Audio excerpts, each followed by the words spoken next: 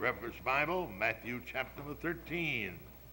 I want to speak on the parable of the pearl, the great pearl, as recorded in verses 45 and 46 in Matthew chapter number 13. You pray for me tonight. I'm having just a bit of a problem with my speaking. And don't you feel bad about me. I have no ache or pain. I'm, I feel perfectly good. And I'm not necessarily tired, but I have a, a muscular problem that uh, develops with older age. And as a result of that, sometimes I have difficulty with my automatic muscle responses in my body that regulate my swallowing and regulate my eyelids and other muscular uh, activity that you don't have to push a button, so to speak, to get to operate. It just operates automatically. And mine is giving me problems. I take medicine for it, but sometimes it gets the best of it. And then I have a lisp sometimes in my speaking when those muscular reflexes are not working like they ought to be. And I've had a bit of problems today. I've had the medicine, but it didn't do the job. So if I begin to lisp a little bit, I have no pain. You bear with me, and uh, you're patient and good about that, and it'll be all right. I'm sure. I usually preach right straight down the line and have no trouble. Then all of a sudden, like that, I have the trouble. I don't understand why, but but that's the way it is. The doctor tells me the name of it. I can't pronounce the name of it, but I sure know it's real. But it's not painful. But it says, uh, they tell me that it goes with old age, you know and they'll get worse. There's no cure for it. They can give me medicine and try to help.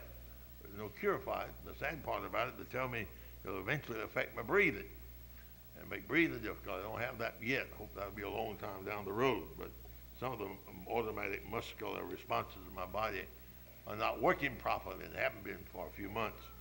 And I appreciate you praying about it. All right, the pearl of great price, the pearl of great price, the parable of the pearl. I want to speak to you about tonight.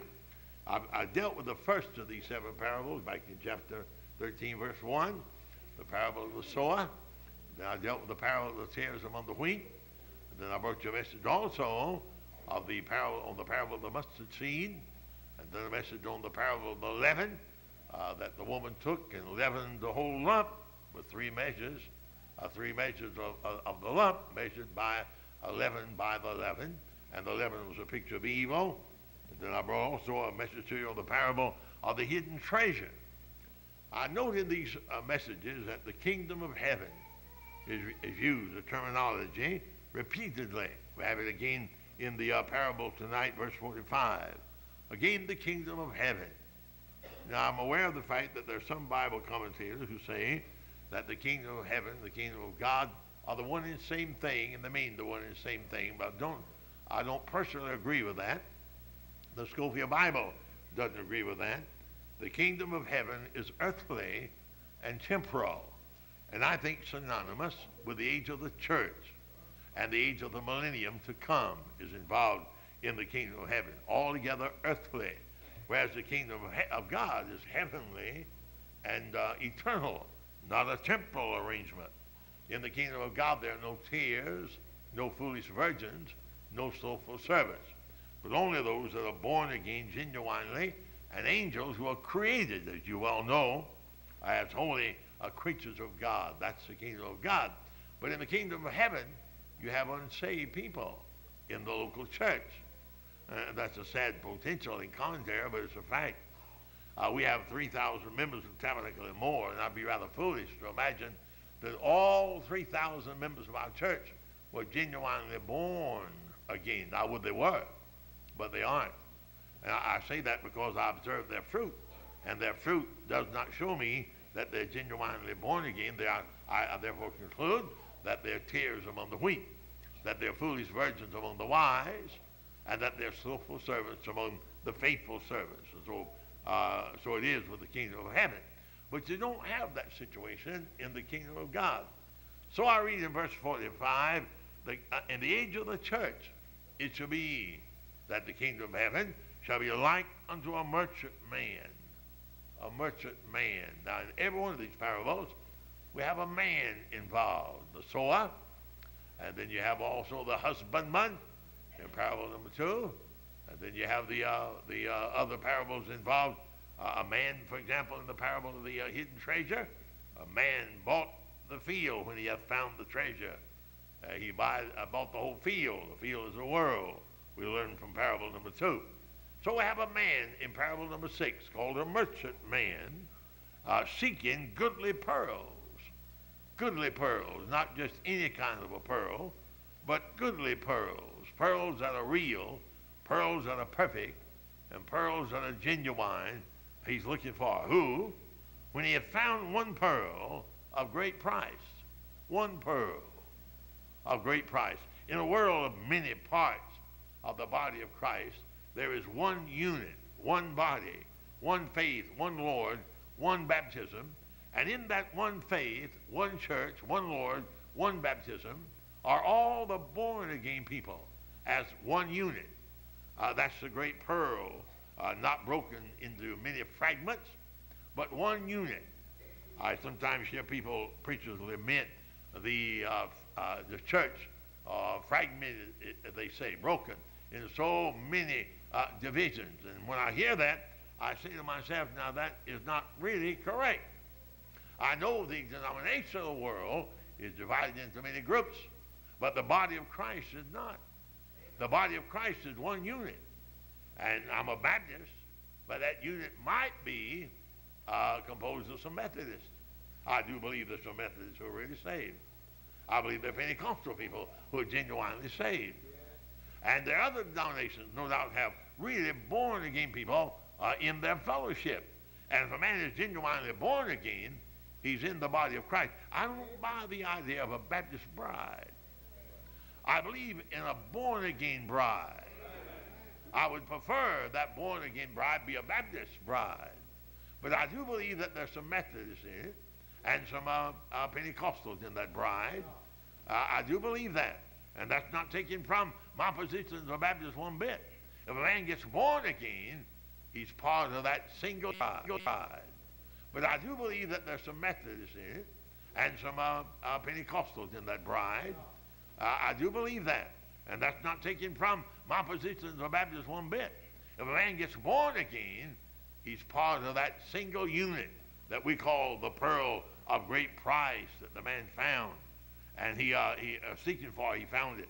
And he sold all that he had and bought it, that is, bought the pearl, bought the body, bought the church in his own precious blood.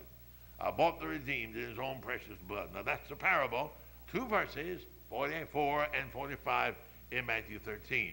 Now I want to note several things about uh, this uh, parable, the pearl of great price, uh, several lessons that we need to learn from it. The man in the parable is the bar or a bar of the field and bar of the pearl, seeking goodly pearls. The man in the parable is a type and picture of our Lord Jesus Christ. Now, there are those who hold to the idea that the man in the parable is the picture of the seeking sinner, seeking salvation. And when he finds salvation, then he sells all he has and buys salvation, but that interpretation will not stand up. To begin with, a sinner doesn't seek God, God seeks a sinner.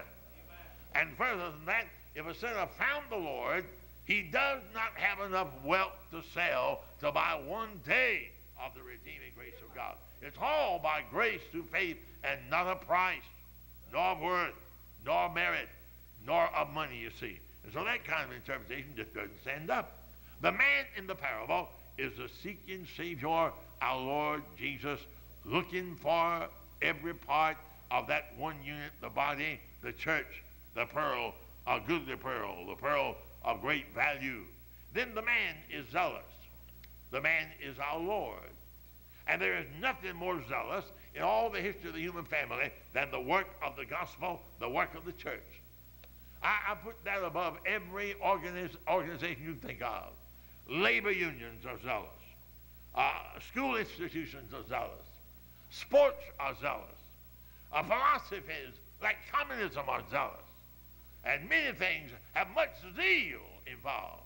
But I don't think you'll find a group of people in all history more actually zealous and dedicated than the church.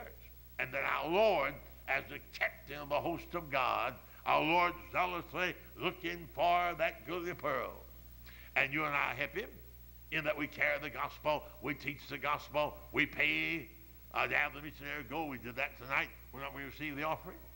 70% of the money you put in those offering pans a while ago leaves Tabernacle Baptist Church immediately and is invested in our mission program. And you pay to send our missionaries around the world. How zealous that is. How godly that is. What a wonderful thing to have a local church willing uh, to abase herself to the degree that we operate with 30% of every dollar and give 70% of that dollar to missionary programs and missionary personnel around the world. And that's the picture of tabernacle. That's zeal, zeal, fervent, devoted zeal for the souls of men. And the reason you do that, the reason our missionaries do that, is because of the great captain of our salvation, the Lord Jesus, who called us into this great vocation and this great ministry of making known our Savior. And our Lord is still doing that. So the man is seeking. We have a seeking Savior. He found me many years ago. He found you many years ago. Somebody said, I sought the Lord until I found him. No.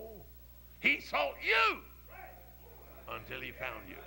He found some of you in the factory. He found some of you in your automobile. He found some of you in your bedroom. He found some of you out in the field. He found some of you out in the woods. He found some of you at an altar. But he sought you until he found you. And when he found you, he saved you by his grace. You provided the sinner. He provided everything else. And there's not one thing you can provide. You don't seek God. You don't work out your salvation yourself. You don't find God. He finds you as a seeking Savior. So the parable uh, teaches me that Jesus is zealous, reaching out to the unsaved. Then the man knows the good of the pearl. A pearl can be counterfeited, and sometimes so perfectly counterfeited until you're not able to tell at the glance of the eye whether it's real or whether it's a counterfeit. But this man knows the goodly pearls. He's not seeking only a pearl, but he's seeking a goodly pearl. He knows the very part that God needs to fit, to fitly frame together in the house that my Heavenly Father is building. And he fitly frames that house together, piece by piece, unit by unit, until it's completed. And when the house is completed, then he's going to rapture out the church and carry it to heaven. So he's seeking goodly pearls, you see. And there's not one counterfeit in the pearl of great price that my parable deals with tonight. It's a goodly pearl, not an imitation, nor a counterfeit. You know, it's an amazing thing how pearl is formed. Men sometimes give their lives for precious gems, diamonds, sapphires, and so on. And even a pearl, they give their life for an expensive pearl. But if it's a real pearl, it's a marvel how the thing, thing came into existence. The pearl is not formed by the cunning work of a man's hand. When I was over in Israel, we stopped at a diamond factory where there were skilled men who knew how to cut the diamonds and to break the diamonds and uh, to shape the diamonds and fit them into a gold ring. And we watched them, stood there and watched those men work at their uh, work table uh, with those uh, diamonds, you see, very precious things. But a diamond uh, is broken. It becomes of great value as it becomes broken. It becomes of great value as it becomes cut. It becomes of great value as it becomes polished. But the very opposite is so with the pearl. A diamond would not have fit into this parable because a pearl, you break a pearl and you destroy the value of it. Matters not how beautiful it may be or how valuable that pearl may be. If you hit it with a hammer and break it into a hundred pieces, you have destroyed a thing of great value. On the other hand, if you take a diamond and break it into a dozen people pieces, you have more wealth, you see. The more the pieces, the more the wealth. But the opposite is so with the uh, pearl. That little sea animal, somehow or another, gets a grain of sand in his little body down in the dark depth of the water. And that grain of sand causes him pain.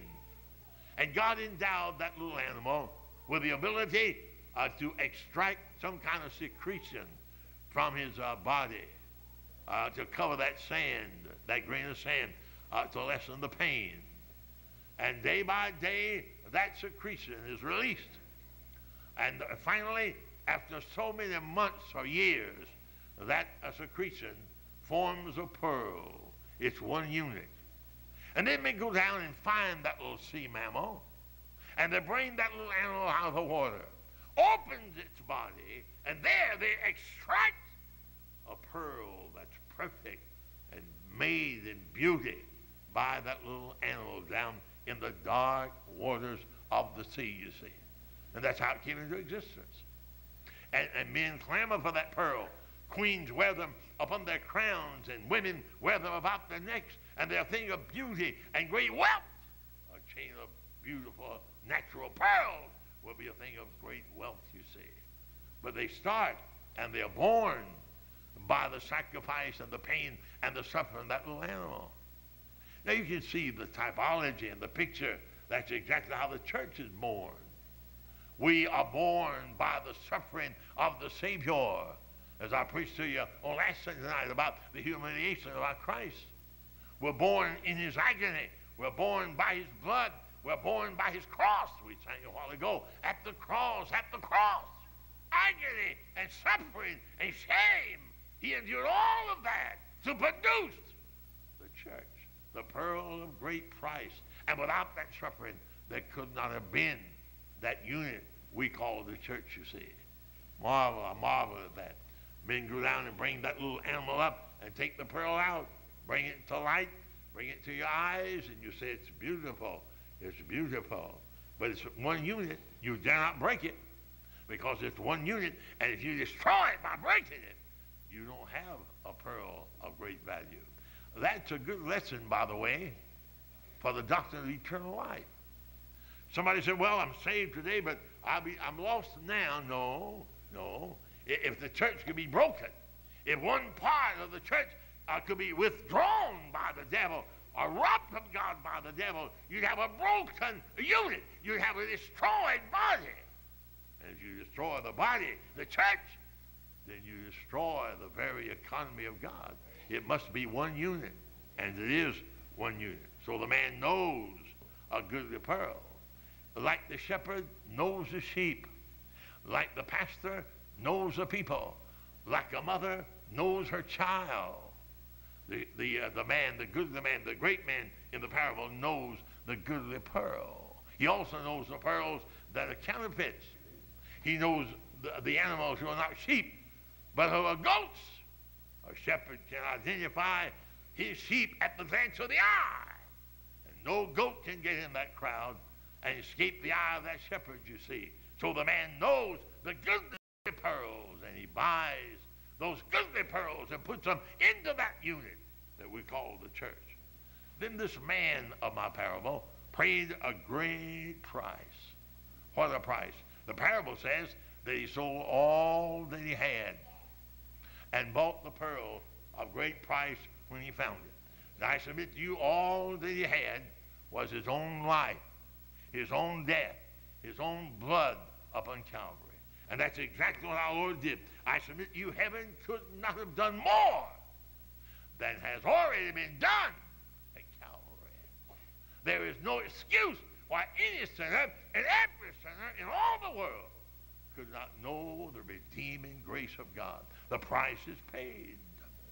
God couldn't pay a greater price than has been paid when Jesus died upon Calvary. So the man, the merchant man in my parable, pays a price that demanded all that he had. And all that he had in the case of our Lord was his life upon Calvary. And then as a result of that, the man in my parable bought or redeemed that goodly pearl. And now it belongs to him. He redeemed me. He has saved me. He found me. He sought me. And then he redeemed me by his own precious blood. I could have no greater advantage than that. And I have that advantage. I have that blessing. All together by grace through faith in the crucified Savior. The parable of the goodly pearl. I marvel at that. I marvel at the church. If somehow I could teach our people at Tabernacle to love the church, I think we've all learned a tremendous lesson when we learned that. I think far too many church people casually take the church for granted. Sometimes church members take the church for granted. Sometimes our own members linger at loyalty and devotion. They fail to apply themselves to loyalty and devotion to the church. If it's convenient, they come. If it's not convenient, they don't. If they have money, they give. If they don't have money, they withhold what they have. If they have an opportunity to promote, promote the church, they will, but they don't bother themselves about promoting, about recommending, about, about urging, about compelling people to come in. And, and loyalty becomes a lost a, a part in the lives of many church people. I don't want tabernacle to be that way. I don't want us to worship the buildings or the grounds or worship the pews, God forbid. But I do believe that God's people ought to not forsake the assembling of themselves together. I do believe that God's people ought to love the church and love the program of the church. I believe that God's people ought to love the body, the people that are involved in the church. Who else in Greenville could I love in preference to the church? Where can I find a body or a group or even one individual in Greenville that I can give my love to more worthy, more godly, more God honoring than to give my loyalty to the church? Is there a civic organization worthy of comparison? No. Is there one politician worthy of comparison? Never. I'm to be loyal first to my church. The church is a goodly pearl that our Savior has purchased in his own blood. And don't you ever let anybody uh, deny you of that fact. God is preparing this great goodly pearl, gathering this great goodly pearl out of every nation and kindred and tongue around the world and bringing us together in one unit.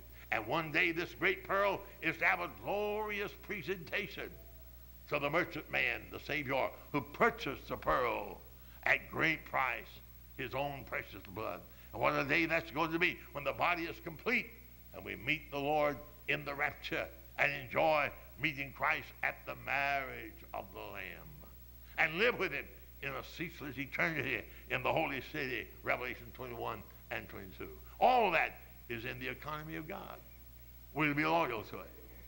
You know, I've often said, and I think it's worthy now of repeating since the good pearl to me is a picture of the church.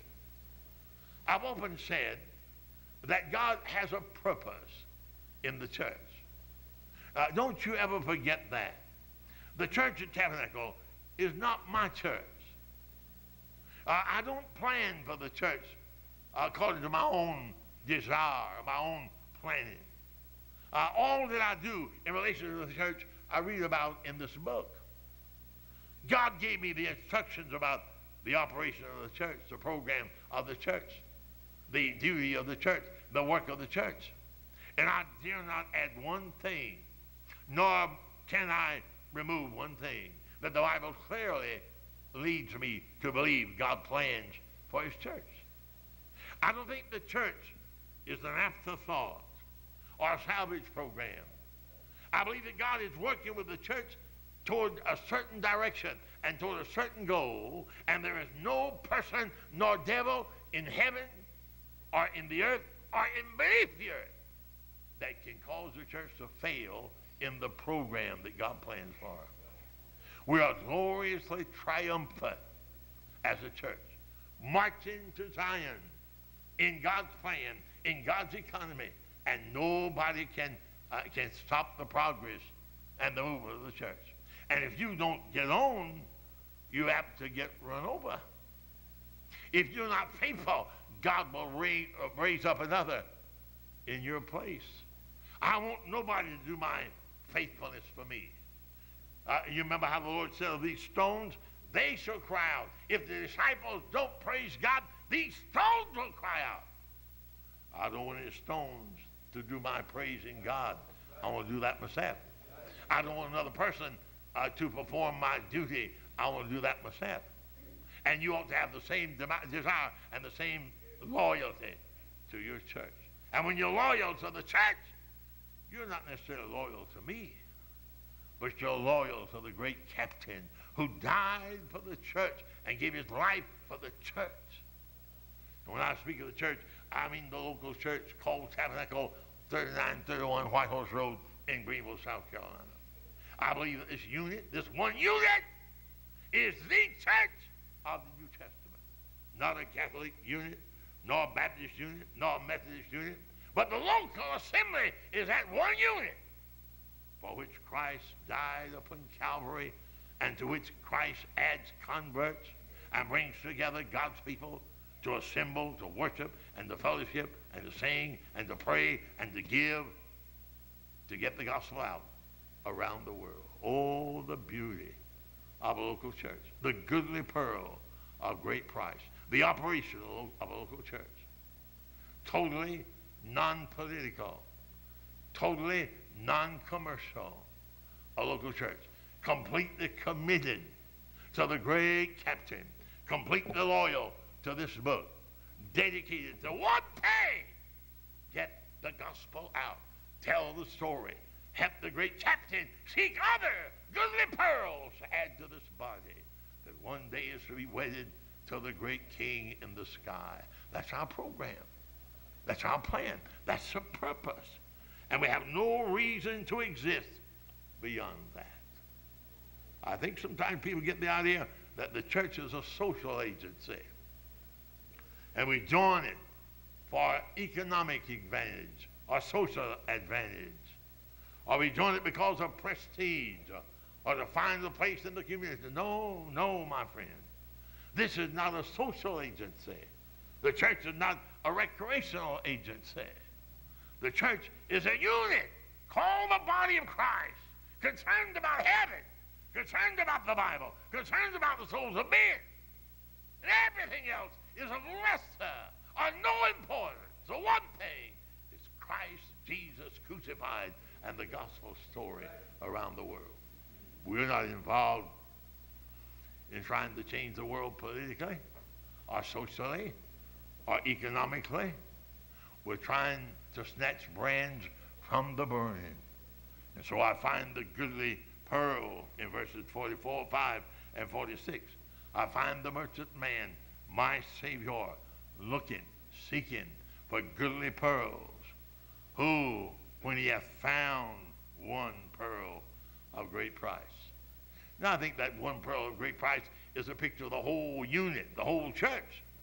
But we need to know that the church is made up of single pearls. And every believer is a pearl of great price. One by one, they're brought and baptized of the Spirit into this great pearl of great price, the uh, church, the entire church, you see. And we become part of that, that great body called the church through the baptism of the Holy Spirit, the operation of the Spirit. When Jesus found me, he put me into the body. He baptized me into the body. I was later baptized in water, but that was simply a testimony. I had a baptism before I went into the baptistry. I had a spirit baptism when I was regenerated. I didn't understand it then, being a boy and not a student of the Bible. But I found out later that when I was converted, I had that baptism. And by that baptism, God put me into the body of Christ. And then later, I was baptized in water so that my family and my friends would know that I give testimony to saving grace and saving faith in a crucified Savior. But he's looking for that pearl. And when he finds one, he brings that one and puts them into the body of Christ. We are not divided. We are one unit. Marching to Zion, a great unit. Now, when he finds that pearl, he has already, paid the price. And the price that he paid 2,000 years ago was at Calvary when he died. A great price. He paid for the redemption of the goodly pearls that he finds. Now, this thought do you think he's gotten all of them in? Sometimes the devil comes to me And he says, Preacher, you're, you're just washed up. You're fighting a losing cause. Nobody else is going to get converted. The, the church is washed up, and there won't be anybody, you'll not reach anybody else in Greenville. But I believe the devil lies to me at that point. The very moment that sometimes those thoughts come to my mind, and the old devil browbeats me about the fact that the gospel has lost its power and nobody interested in the church anymore. The church will be passed up by the, uh, by, uh, by the masses. The very time those thoughts come to my mind, sometimes God brings a miracle right before me. And I see a sinner get converted. And we can carry them into the baptistry and get them baptized. Or I see somebody come into the church and become faithful and loyal and involved in the church. And I've, I've seen the devil proven to be a lie so many times. Oh, my soul, may I say to you, this is the dynamite of God. When you and me send our missionaries around the world with a Bible in their head and with the gospel on their lip, we're sending these missionaries with the weapon and with the power to convert any pagan heathen world around if they'll hear the gospel. My word does not return unto me void. The word of God is the dynamite of God unto salvation to everyone that believes it. And so I have confidence and assurance that the merchant man is still finding goodly pearls. I still have confidence and assurance that others are going to get converted. As long as the church is in this earth, God is adding others to it. Maybe a child, maybe a drunk, maybe a great sinner, maybe a poor man, but God is adding others to the church daily, such as are being saved. Don't you ever forget that. The devil's an awful liar. He'll tempt you to believe that you waste your money when you put that money in the offering pan. Nothing good will come from it. Nobody will get converted from it. Don't you believe that? No, don't you believe that? You keep on putting your tithe in this offering pan, and we'll keep on sending the missionary out, telling the story. God only knows the good that's coming from it. I couldn't calculate. I have no way of knowing, but I have confidence in the Word of God that souls are being saved and shall continue to be saved until this goodly pearl is formed and completed. And when that goodly pearl is formed and completed, then the Lord's going to carry us to heaven. And you talk about a kingly crown. No monarch, no queen, no princess in all history has ever worn a crown to compare with this crown of goodly pearls that one day our Savior is going to receive. You talk about a perfect unit. You talk about a thing of beauty. You talk about an instrument formed by much suffering and by great patience and by long years. When that body is completed, it's to be the most beautiful thing you have ever seen in your life. I've often made this statement in my preaching. I've said that I believe that in heaven, God has a place where angels will never tread. Very beautiful place. I imagine this now. I can't find this in the book, but it's logical to me. A beautiful place. Angels sometimes say, God, we'd like to walk in that beautiful place.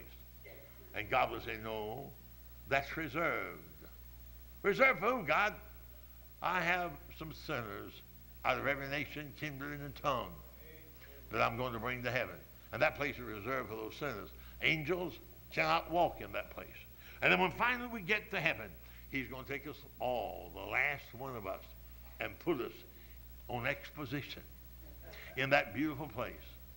And when he places all of us, goodly pearls we are, in that place of glory and prominence, then God will say, angels, you may now come by and see the tokens of the grace of God. See the goodly pearls that I purchased in my own blood upon the earth.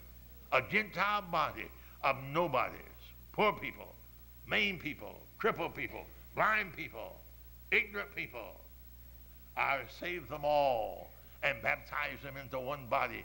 And here it is. Now look at it, angels.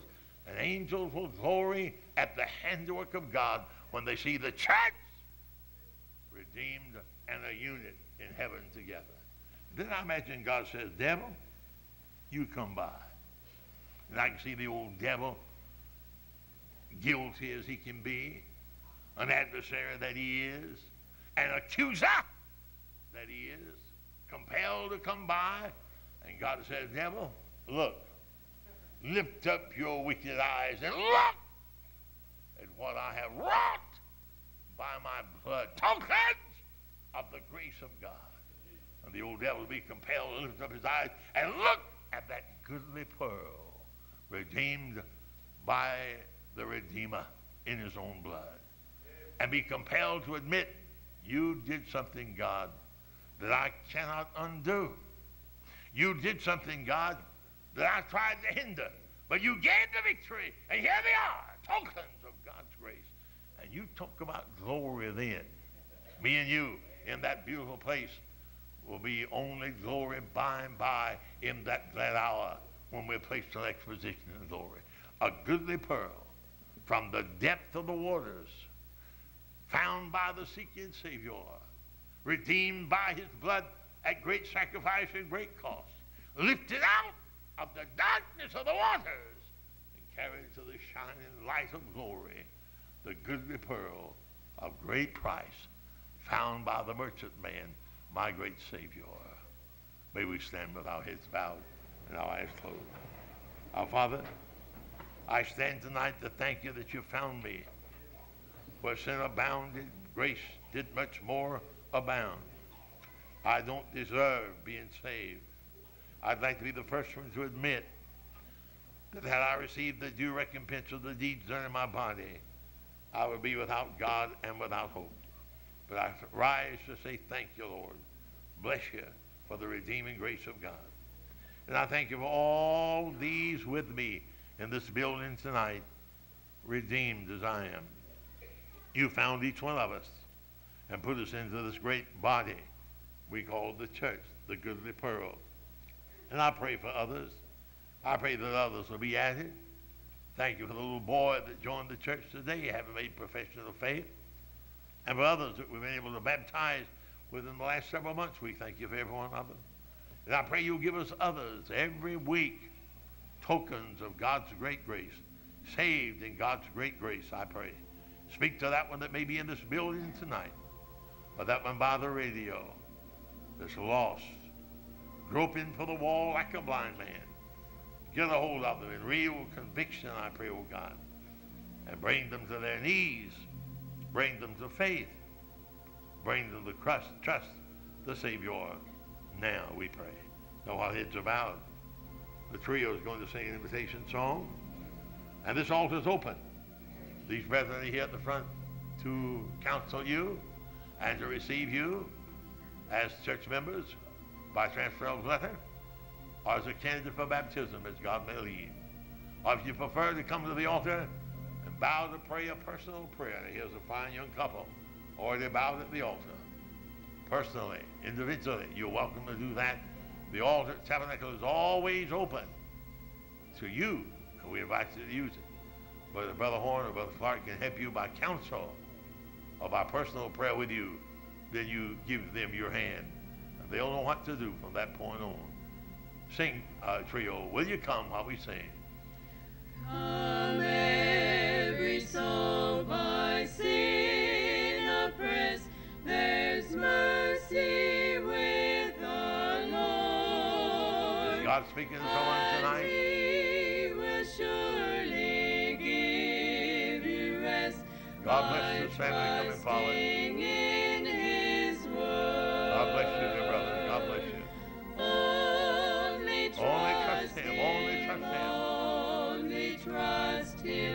Only Trust him now.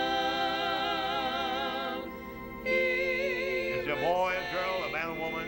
You need Brother Horn or Brother Clark to pray for you, me. Will you meet us at the altar? Will you come right now? Just step out, sing another stanza. Jesus Come right now, will you? If God is speaking to you Rich blessings to you, maybe by the radio, there's somebody under conviction. Why don't you get on your knees right there by the radio? Call upon Jesus. Ask Him to have mercy upon you and save you by His grace. He can do that. Will you do it? Will you come right now? Only trust Him. Only trust Him. Only trust Him. Only trust Him now. Only trust Him now. Great merchant man seeking goodly pearls. He will save Will you be found tonight? He will save you. He will save you. I'm going to have the trio sing one more stanza. This will be the last verse. Whether you come or whether you don't, this is the last verse. And And we have to the altar. Will you come?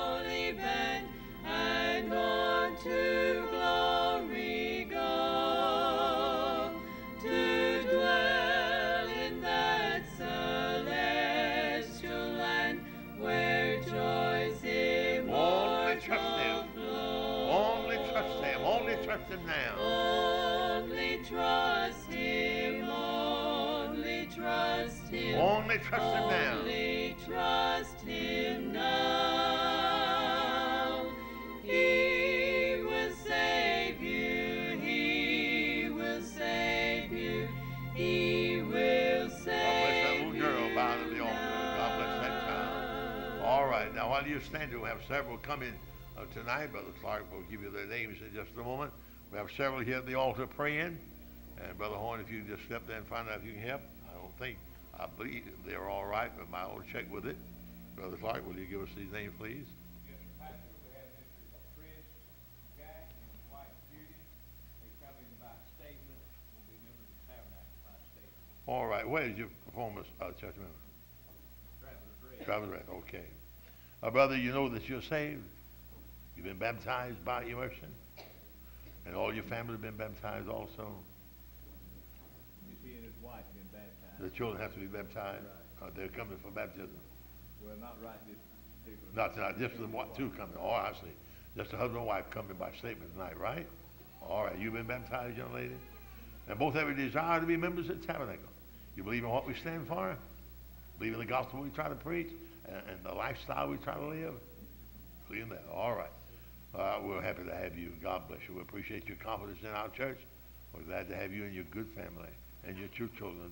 Good to have you. What's the pledge of the church concerning this family by statement tonight? We have a motion to accept them upon the testimony that they're saved and been baptized and they desire to be a part of our church. Those in favor will lift of the hand. Any opposed by the same sign? God bless you, and I appreciate that, brother. God bless you, everyone. Give us that name again, Brother Sly. That's, uh, Chris and Judy Jack. Jack. Last name is Jack. Good, that's fine. God bless you. Now, Father, we thank you for the hour. Bless the people now as our pathways part. Thank you for this family coming into our fellowship and the others that came in in the morning hour. Bless them each one, I pray. And then bless the people as we travel home for a safe journey for every one of them, I pray. And as we gather again Wednesday night for the prayer meeting time, meet with us, we ask in the name of Jesus our Lord. Amen. God bless you now and good night. Don't forget the book by Benny Copper. You'll be down here at the front. And don't forget the Burns Trio record album. Brother Harold is right here. I want you to see it. Whether you get a copy or not, I want you to see this lovely new album.